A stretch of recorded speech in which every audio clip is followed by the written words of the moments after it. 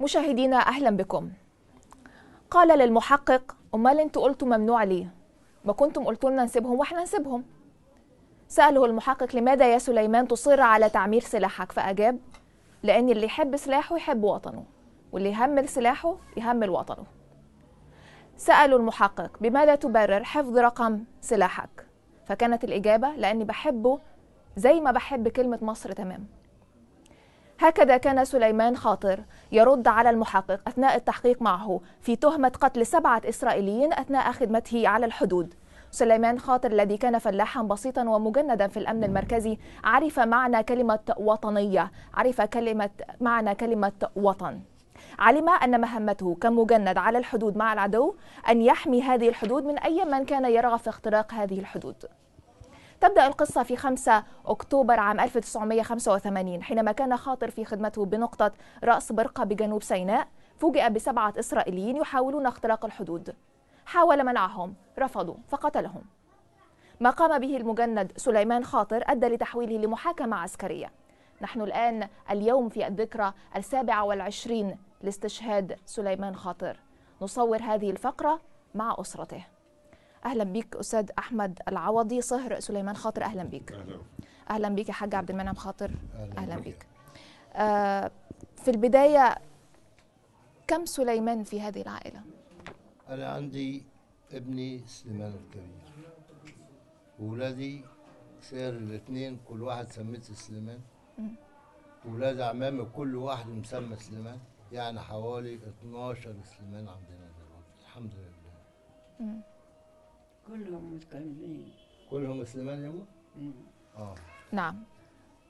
نحن أيضا معنا آه، والدة سليمان خاطر آه، على حد قول أبنائها هي آه، فقدت الذاكرة من بعد وفاة سليمان خاطر ولكن هم تفضلوا بأن تجلس هي معنا اليوم في هذه الذكرى لوفاة آه، ابنها. أنتم كنتم مع سليمان خاطر قبل استشهاده بيوم. كلهم سلام مسلمين. إيه اللي حصل قبل قبل قبل ما يموت بيوم؟ أنتوا كنتوا عنده في الزياره إحنا كنا عنده في زيارة هم اتصلوا بينا هنا. قالوا لنا تعالوا زيارة سليمان. طبعا إحنا عرفنا ان هو نقلوه من هنا من آه، السويس ودوه السجن الحربي في مصر. كان عسكري شرطة عسكرية معاهم من عندنا من البلد. وكان يعرف كل حاجة وكان بيوصلنا.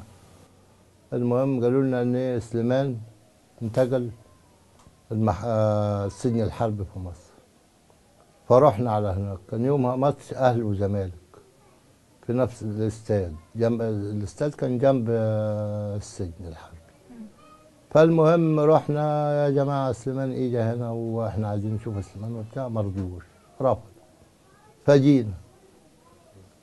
قال هنحدد لكم زيارة وتيجوا. فتاني يوم راح محددين لنا زيارة. الساعة الساعة 12 ونص اتصلوا علينا قالوا لنا تعالوا. زيارة سليمان النهارده. تعالوا زيارة لسليمان المهم رحنا لسليمان زرنا سليمان لقينا مكرم محمد أحمد و... وفريق جامد. ده التصوير. إحنا داخلين المهم إحنا كان مين يا مع المهم اشتكلنا معاهم وكسرنا الكاميرات اللي هم مقابلينا بيها يصورونا وبتاع. وقلنا لا إحنا مش عايزين كل اللي تبع الحكومة كل اللي تبع حسني مبارك مش عايزين. إحنا في السجن ومش عايزينه هو بس. وحصل يومها قابلناه وقعدنا معاه وطلب هدوم وطلب آه، كتب الكلية وهيكمل وأنا مبسوط يا أخوي هنا والمساجين هنا بتبص له وبتندع عليا ومبسوطين بيا قوي و... وآخر نسيان. شايفينه بطل. آه يعني بقول لك أنا ماشي كده في الحج والمساجين بتنده عليا مبسوطين بيا و- ومعايا المساجين يعني مبسوط على الآخر. طب الظروف الظروف حلوة ومية المية. طب إحنا عايزين بعد ما جينا ماشيين قلت إحنا عايزين توكيل يا جماعة من سليمان دي. يعني لأن حتى الأرض بتاعتنا كان باسم سليمان. فقالوا لهم ولا تعالى بكرة. قول هات بتاع شهر عقاري وتعالى. قلت لهم حاضر المهم جيت تاني يوم وخدت بتاع شهر عقار ورحت. قالوا ابو غزالة في السجن جوه ممنوع الزياره النهارده. يا ناس أنتوا جايين وجبت بتاع مصر الجديده وجيت أهو قال لا ما فيش. المهم طلعنا من عندهم ورحنا على في لقينا خالي هناك في مصر رحنا عليه. المهم دخلت نمت. فإلا و- جايبين سليمان. قال لك سليمان خاطر انتحر. انتحر إزاي يا أولاد؟ انتحر. كيف تلقيتم هذا الخبر؟ خبر الخبر انتحار, سليمان خصوصا إنك كنت معاه قبلها. آه، يعني أنا نزلت هو في سكن في الدور الرابع أنا نزلت من الدور الرابع وفي الشارع سكن في الم... في المهندسين هو. أنا نزلت من الدور الرابع ما كنتش عارف أنا بعمل إيه. المهم الناس يا سليمان مات يعني حاج أحمد أنتم يعني آه، قبل أن أتحدث عن آه، الانتحار أنتم كيف رأيتم الحكم عليه أصلا وتحويله إلى محكمة عسكرية؟ آه، وهو آه، يعني في تهمة آه، كان يقوم هو بعمله. كيف رأيتم ما حدث؟ بسم الله الرحمن الرحيم. اولا آه، سليمان خاطر ما اتحكمش بالقانون. سليمان خاطر حاكم باتفاقيه بين حسني مبارك وبين الإسرائيليين. سليمان خاطر كان بيحرس النقطة 46 في راس أدى واجبه على أكمل وجه. سليمان خاطر كان بيدافع في آخر خدمة له في الجيش عن موقعه. آخر خدمة له في آخر- الجيش. يعني سليمان خاطر كان هيخرج النهارده هيسلم السلاح بكرة هيكون ملك. آه، أثناء الخدمة طبعا سليمان واقف في مكان مرتفع عن الأرض تعال 15 15 متر. 15 متر. بعد إذنك. 15 متر. قعد نزل الأتوبيس الإسرائيلي آه. وبدأوا يطلعوا المو- الموقع بتاع سليمان. قعد يحذرهم وضرب نار طلقات تحذيرية ما امتثلوش للأمر تماما. أطلق عليهم النار. موت سبعة من ال 15 وأصيب خمسة. وبلغ القيادة بتاعته قال أنا عملت كذا كذا كذا سليمان خاطر في تحقيقات النيابة حضرتك. تعرفي مدى التواطؤ ومدى الظلم اللي تعرض له سليمان خاطر. جندي مصر على الحدود بدافع عن موقعه بيأدي واجبه بأنه يقتل المتسللين للموقع. يحاكم أمام محكمة عسكرية وقعدنا نطالب أنه يحاكم أمام قاضيه الشرعي اللي هو المحكمة المدنية حتى على الأقل أنه جندي أمن مركزي مش عسكري جيش. أصروا أنه يحاكم محكمة عسكرية ويتحكم عليه ب 25 سنة عشان دافع عن مصر عشان دافع عن موقعه كأنه تاجر مخدرات. 25 سنة سليمان خاطر اتحكم عليه ب 25 سنة عشان جندي بأدي واجبه أنا أنا أنا في الحقيقة استغربت ما ما جاء ما قيل أنه جاء في التحقيقات مثل أسئلة مثل ليه بتصر على تعمير سلاحك؟ آه، ليه حافظ رقم سلاحك؟ أليست هذه من البديهيات من البديهيات؟ هو واحد واقف يعني يدافع عن موقع. ألم تستغربها أنت في هذا الوقت؟ سليمان خاطر كان عسكري مصري بيعتز بالعسكرية المصرية. كان جندي مصري بيعتز بعسكريته قوي. كان بيهتم بالأفرول كان بيهتم بالسلاح بيحافظ رقم سلاحه أكتر من اسمه. يقول لك اللي يحفظ رقم سلاحه ويحافظ على سلاحه بحافظ على مصر. اللي بحب سلاحه يحب تراب بلده. نعم. واخده بال حضرتك فسليمان خاطر آه، اتحاكم بقانون القادة بتوع سليمان الرائد أحمد الشيخ في تحقيقات النيابة العسكرية قال إيه؟ قال إن سليمان ده إنسان يعتز بعسكريته من شغله لمذاكرته سليمان خاطر عمل أدى الواجب اللي عليه القائد الثاني القائد الثاني نعم. المقدم محمد قال لك إن الموقع بتاع سليمان موقع عسكري ممنوع للعسكريين المصريين دخوله. ما بالك إن أي نعم. أجانب ممنوع يخشوا الأجانب خالص؟ نعم.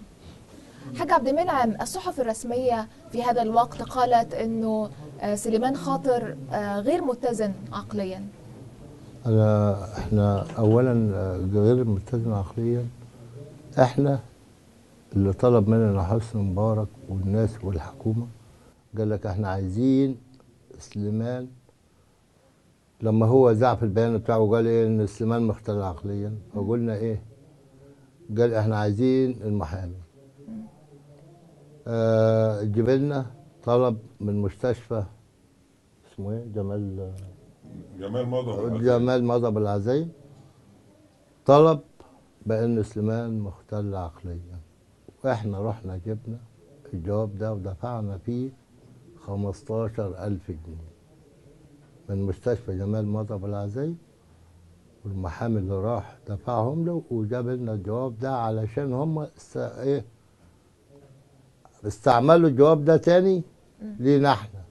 قالوا إنه مختل عقليا إنما إحنا دافعين فلوس على إن إحنا نجيب الجواب ده من المستشفى. عشان تبقى هل لعبوا على وتر أنه آه، شهد حادثة مدرسة بحر البقرة الابتدائية القريبة من قريتكم وأن سليمان ذهب وهو في التاسعة من عمره ليراها وبالتالي آه، كونت عقدة ما آه، عنده تجاه ال- الإسرائيليين؟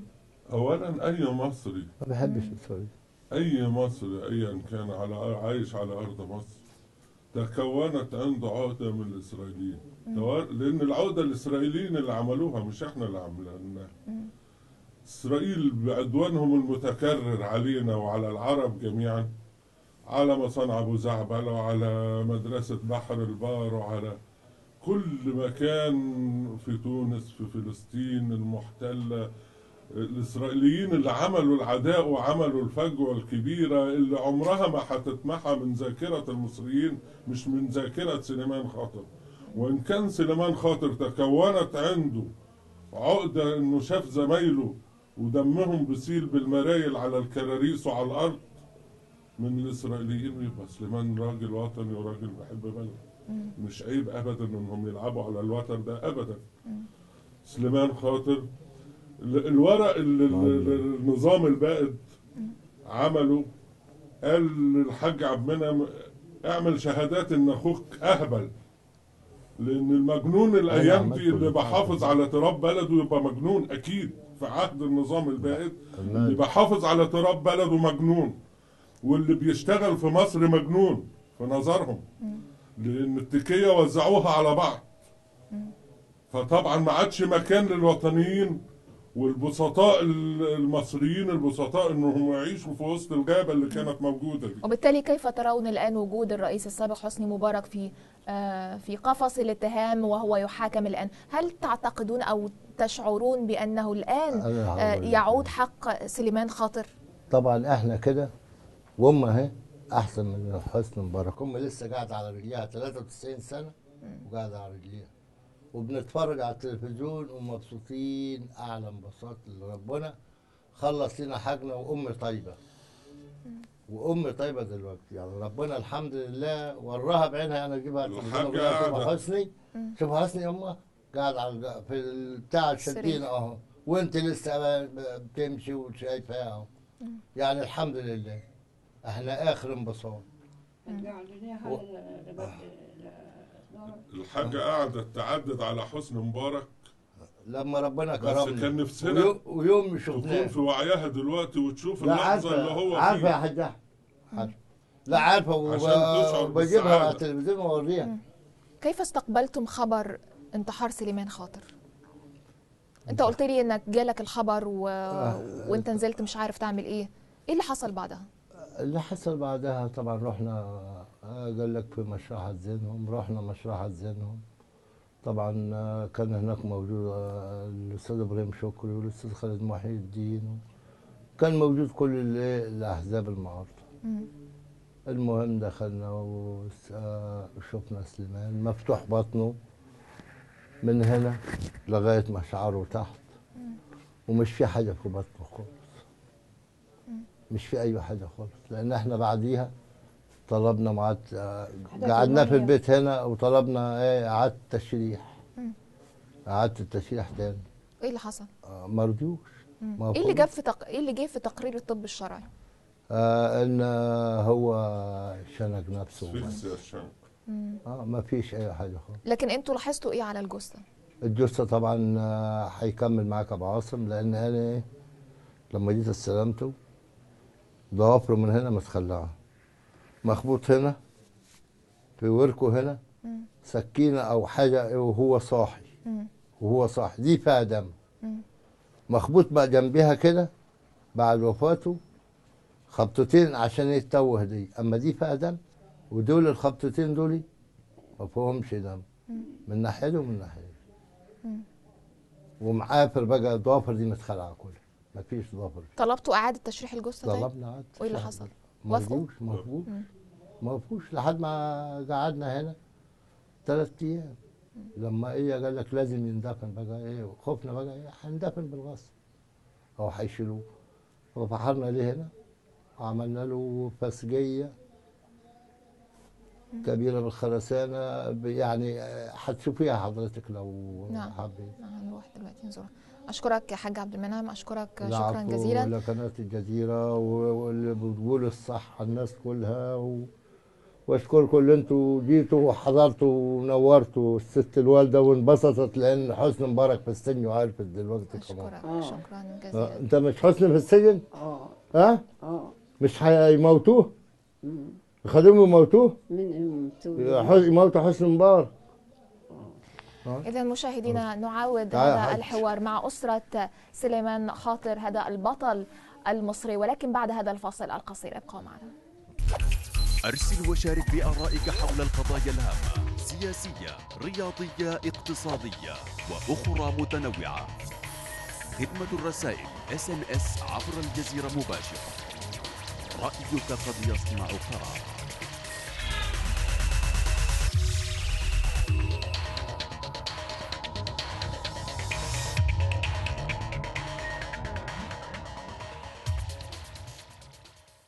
مشاهدينا أهلا بكم مرة أخرى. الآن انضم إلي الحاجة إنصاف محمد خاطر والحاجة سعدية محمد خاطر آه، شقيقتا آه، سليمان خاطر. أهلا بكم. أهلا بيكي أهلاً. شرفتينا ربنا يخليك. شرفتينا والله. ربنا يخليك سعداء بحضراتكم. ربنا يخليك. حاجة أنا عايزة أسأل حضرتك عايزة أسألكم هل أنتوا رحتوا جلسة محاكمة سليمان خاطر؟ رحنا. كان سليمان عامل إزاي؟ كان سعيد جدا وكان بيقول إن هو هيخرج لأن هو ما عملش حاجة غلط وكان كله أمل. إنه في كلية حقوق وهيخلص وهيخلص الكلية بتاعته واتصل على الدكتور عزيزي جاب له الكتب بتاعت القانون والكتب اللي ناقصاه وما كانش عنده أمل إن هو هينعمل فيه كده. يعني كان عنده أمل إنه يخرج مش كان عنده أمل إنه هيخونوه آه، لأنهم خانوه خدوه خيانة كده مش ما كانش في فكر سليمان خاطر إنه هي ينقتل أو هينعمل فيه العمل. حاجة سعدية كان كان عامل إزاي جوه؟ يعني القفص كان- وازاي كان كان حلو. سمع سمع آه، قرار إنه ياخد مؤبد؟ إزاي سمع الحكم ده إزاي؟ كان حلو. يعني خشينا عليه وهو طالع وبغزالة واحد كده ماشي يقول أنتوا هتروحوا تعملوا وتسووا وهتروحوا والبيت يا أرياف وتولعوا الشاليه وتقعدوا وتتحدثوا وتقولوا ده زل اللي إيه اللي اللي, إيه اللي هيشنقوا مم.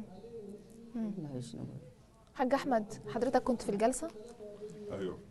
كان كان كان عامل إزاي؟ نفس السؤال.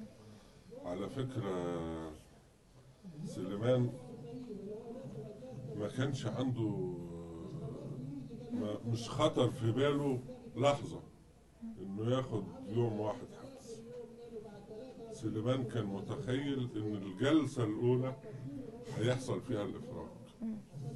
لأنه طبعا في أقوال النيابة وأقوال وشهادة رؤسائه وشهادة زمايله والقانون اللي سليمان يعرفه إن سليمان عمل عمل سليم 100% ودافع عن موقعه. إذا ما فيش يبقى المحكمة دي مثلا صوريه عشان يرضى اسماعيل بس أنا هاخد براءة. لما خد 25 سنة القاضي قال له معلش يا سليمان. بعد الجلسة ما انتهت قال له معلش يا سليمان. القاضي قال له معلش يا القاضي سليمان. قال له معلش يا سليمان ولو عايش دلوقتي ما يسمعني يقول الراجل ده كان في الجلسة. كل زمايل سليمان والضباط والحرس قعد الجلسة كلها قعدت في بكاء شديد. كله كان بعيط. سليمان يقول عادي والله ما في حاجة خالص. أنا فدا مصر وإن شاء الله أنا هاخد براءة. إن شاء الله هاخد.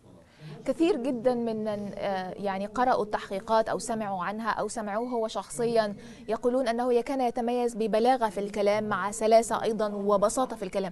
أين تعلم معاني الوطنية وحب الوطن؟ الأحداث اللي إحنا عشناها مع إسرائيل الأحداث اللي إحنا عشناها مع إسرائيل آه، تدي, تدي, تدي لسليمان أو تدي لأي شاب بالكره نحو إسرائيل. الأحداث والمدرسة بحر البقر اللي ضربوها وموتوا أطفالنا الأبرياء. وسليمان أخويا كان صغير وطلع يجري وراح المدرسة وشاهد الموقف وشاف الأطفال وشاف المدرسين وهم ميتين. فكان ده لازم يسيب أثر في في قلب سليمان وفي قلب كل مصري. ومين ومين مش بي مين بي مين بيحب إسرائيل في مصر أو في أي وطن؟ في الوطن العربي عامةً. ولكن أنتم كأهله وكأسرته تستبعدوا تماما أنه يكون انتحر كما قيل. لا ما انتحرش. سليمان اولا سليمان استحالة انه يكون منتحر استحالة. ليه؟ أنا في آخر زيارة اللي رتبت لينا ان إحنا نزوره. واصروا قادة السجن إن الزياره تتم رغم إن إحنا رحنا متأخرين جدا والسجن الحربي ما بيستقبلش زائرين بعد الساعة 12 إلا إن إحنا وصلنا الساعة 3 وأصروا إن الزياره تتم وعملوا اوكازيون لسليمان. أنت تحب تشوف مين وتحب تشوف مين وتحب تشوف مين؟ تحب نشوف مين؟ عشان هتنتحر بكرة إن شاء الله يا حبيبي. فسليمان تمادى في الطلبات إلى أن طلب يمكن 90% من أسرته. بعدين بعد كده تاني يوم فوجئنا إن سليمان خبر انتحاره في التلفزيون طبعا خبر غريب جدا وجمال مضى بالعزايم واقف ماسك مشمع آه. ويقول لك سليمان انتحر كده. مشمع الجيش طوله متر ونص وعرضه متر. لما يتكور على بعضيه كده هيبقى حاجة الواحد يحب يتعلق فيه. مم. بتاع سليمان انتحر كده. طبعا سليمان ما انتحرش اطلاقا. سليمان يكون انتحر سليمان راجل متدين وراجل ملتزم وصوم اثنين وخميس وراجل آه، متزن عقليا وراجل آه، يشرفه كمان إنه خد 25 سنة في سبعه إسرائيليين وشرف أي واحد وطن إنه ياخد يتعدم عشان يموت اسرائيل حينما جاءت ثورة 25 يناير التي أدت إلى محاكمة الرئيس السابق حسني مبارك هل شعرتم بأن هذه الثورة جاءت لتعطي هؤلاء الأبطال حقوقهم التي آه، حرموا منها أكيد. في عصر الرئيس السابق حسني مبارك؟ 25 يناير ده حاجة عظيمة جدا. قلبت الموازين تماما. الظلم البائد اللي شفناه في خلال ال 30 سنة إحنا دلوقتي من 26 سنة بنعاني من ظلم دي, دي ذكرى 27 في الذكرى الثانية الأمن المركزي تربص بينا وجاب 30 عربية وكنا عاملين يافطة لسليمان شالوها وكسروها. حاجة تقولي ل- يعني آه، لمحاكمة آه، آه، الرئيس السابق حسني مبارك للرئيس السابق حسني مبارك؟ أقول له ربنا يتقبلك عنده ربنا يتقبلك ويرحمك وعلى الله معظم الشعب يسامحك اللي انت ظلمته علشان تقابل ربنا وانت مستريح. بقول لحسني مبارك. ربنا يسامحك على كل اللي انت عملته في الأمهات اللي زي أمي واللي زي الأسرة بتاعتنا اللي إحنا كنا بنستنى. سليمان خاطر علشان يجي لنا. انت حرمتنا منه. الله يسامحك. الله يسامحك. حاجة سعدية. آه أخذ تعليق أخير منك. إحنا رحنا ليه؟ آه، لسليمان خاطر قالوا لنا تعالوا إيه؟ السويس. رحنا ليه السويس؟ وبعدين إيه استنينا شوية كده. قالوا لي إيه؟ الشج- الش- الشججة اخواتكم يجي إيه، يزوروا في في مصر. آه. رحنا. لقيناه حلو وزي الفل. ما فيش شفتي جثته؟ ما شفنا؟ لا إحنا لا، مش شفناها. إحنا شفنا جثته هناك لا. جثته هنا. لا لما مات. لما لا. لما استشهد. لا ما شفناش. أنتوا أنتوا البنات ما شفتوش. لا ما شفناش. شيء هم الساعة قالوا الساعة 8 الصبح تاني يوم زرناه. قالوا آه، سليمان شنق روح آه، دريت أني في بيتي آه، جيت أصرخ من آه، من حدا جوزي. إيه هو شعورك وانت بتشوفي مبارك بيتحاكم؟ ده إحنا مبسوطين فيه. خطية سليمان خاطر إحنا مبسوطين فيه. هل رجع لسليمان خاطر حقه؟ حق- في أي سنة من آه السنين إن شاء الله. إن شاء الله ربنا هيجي. رجع حقه ولا آه. أنتوا في انتظار ان أن يعود حقه؟ لا إن شاء الله. والله هو حقه معنوي وإحنا عايزين الحق المعنوي. وحقنا كده وصل تماما مية في المية. آه. سليمان خاطر شهيد وحسن مبارك متمرد نعم. بهذه الكلمات أشكرك أستاذ أحمد العوضي صهر سليمان خاطر. أشكرك جزيل الشكر. أشكرك أيضا حاجة أنصاف وأشكرك أيضا حاجة سعدية. أشكركم. شكرا جزيلا. شكرا. شكرا. مشاهدينا نتابع الحوار مع آه، أهل سليمان خاطر هذا البطل المصري العظيم ولكن بعد هذا الفاصل القصير. ابقوا معنا.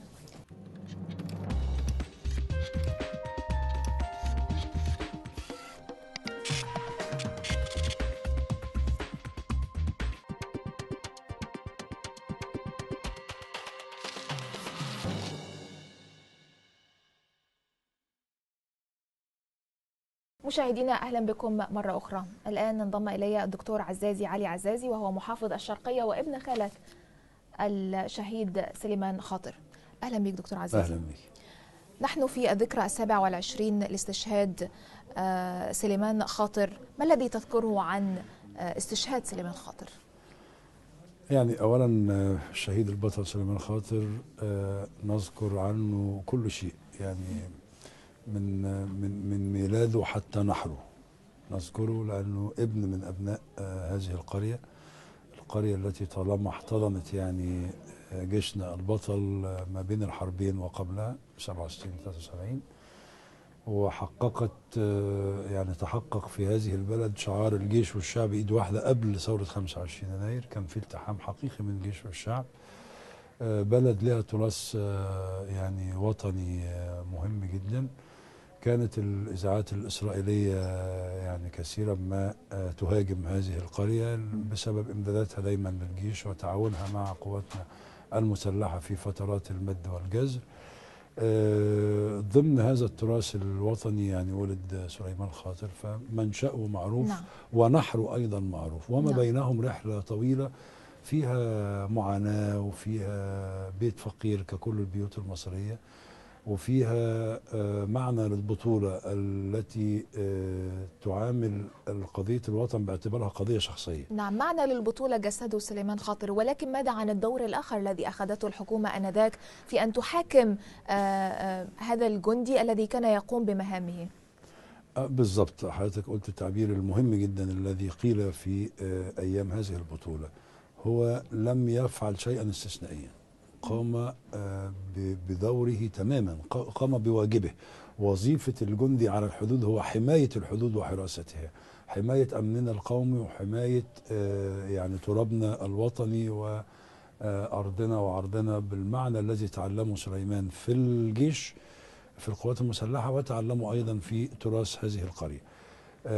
فقام بدوره وبواجبه آه، أتم قيام في وبالتالي كيف استقبلتم خبر أنه سيحاكم محاكمة عسكرية في مقابل أنه كان يحمي أرضه وعرضه كما تقول؟ يعني مشاعر آه، يعني كانت قلقة جدا لأنه نعلم عن نظام حسني مبارك في ذلك الوقت في منتصف الثمانينات أنه نظام يعمل لحساب إسرائيل بالفعل رغم كل ثقتنا ومحبتنا وارتباطنا بالقوات المسلحة المصرية. لكن حسني مبارك لم يكن يمثل القوات المسلحة المصرية أو الجيش المصري في ذلك الوقت.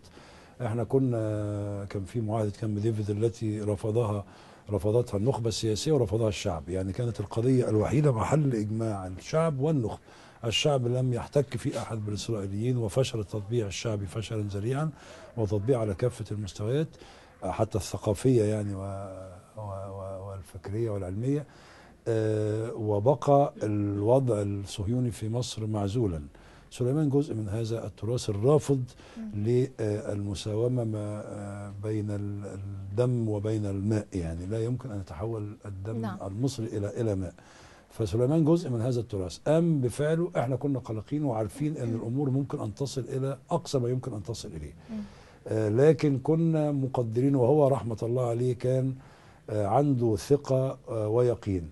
إنه آه إن المسألة هتاخد وقت قصير حتى بعد الحكم عليه بالمؤبد 25 سنة. و- وسيخرج.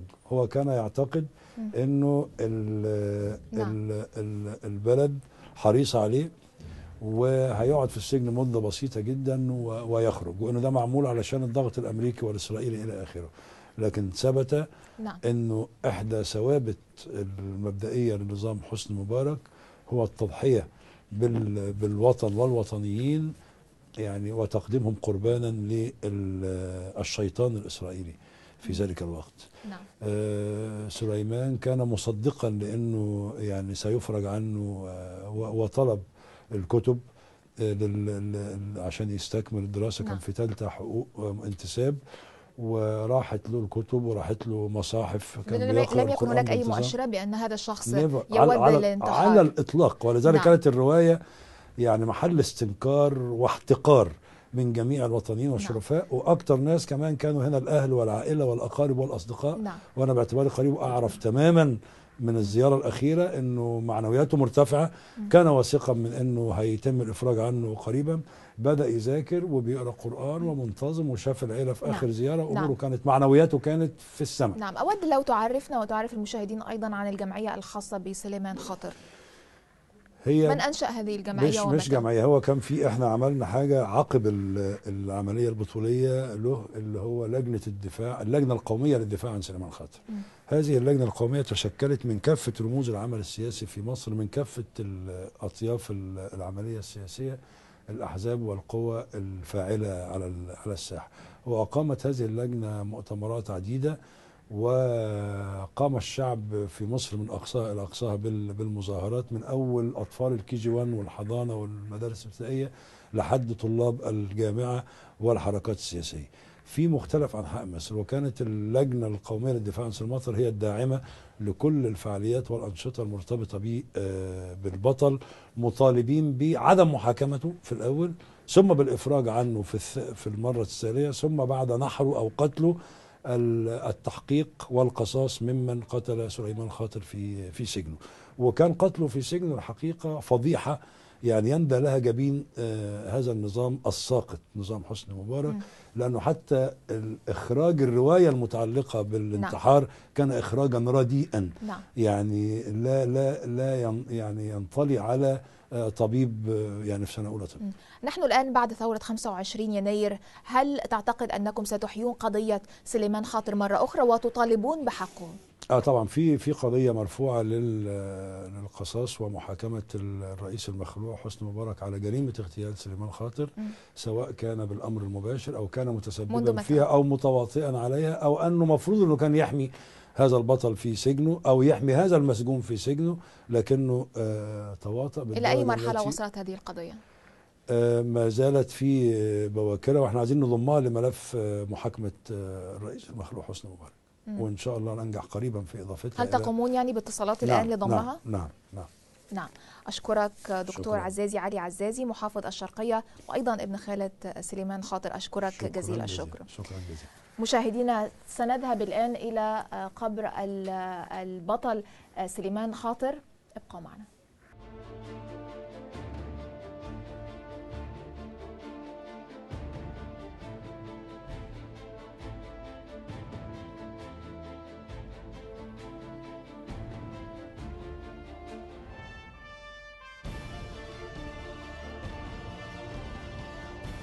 أنا لا أخشى الموت ولا أرهبه. إنه قضاء الله وقدره. ولكنني أخشى من الآثار السيئة من الحكم الذي سيصدر ضدي على زملائي بأن يصيبهم بالخوف أو يقتل فيهم وطنيتهم. هكذا قال سليمان خاطر في كلماته الأخيرة وهو هنا يرقد جثمانه في هذا المكان. ندعو له بالرحمة ونقرأ له الفاتحة. وأترككم في رعاية الله وأمنه.